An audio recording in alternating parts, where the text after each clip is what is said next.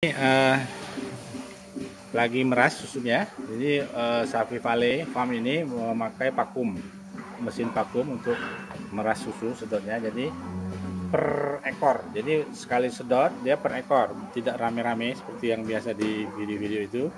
Jadi satu ekor sapi dipasang alat sedotnya di putingnya. Ada empat puting tentunya. Kemudian disedot satu persatu per ekor. Seperti ini. Nah ini ngalir ke sini ngalir ke sini. Ini uh, cannya untuk nampung susunya. Ini ya jadi jadi dia per ekor. Nampung susunya per ekor ngalir. Nah seperti ini. Nah jadi adik-adik ibu-ibu yang suka minum susu begini nih. Susu diperas pakai mesin melalui sapi peras kemudian ngalir ke lewat selang ini. Ini ya ngalir terus dia masuk ke dalam can ini cannya nah cannya itu terkoneksi dengan uh, selang ini selang vakum ya selang vakum.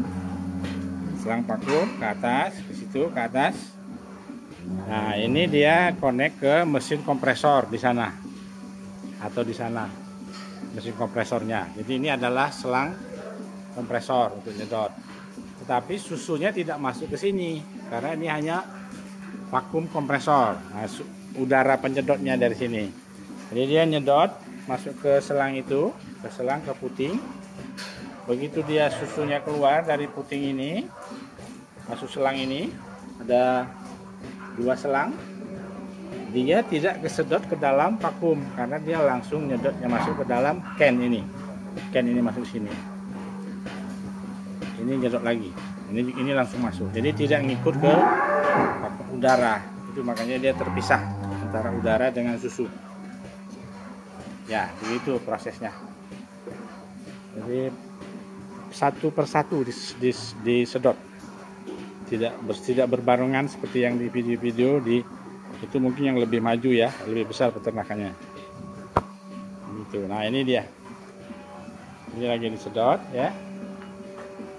Lagi disedot juga lagi disedot yang sebelah sana.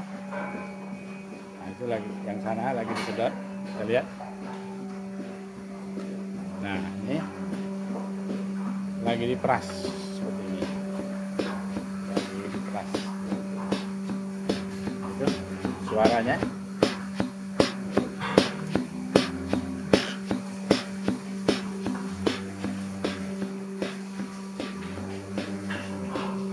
Oke. Okay.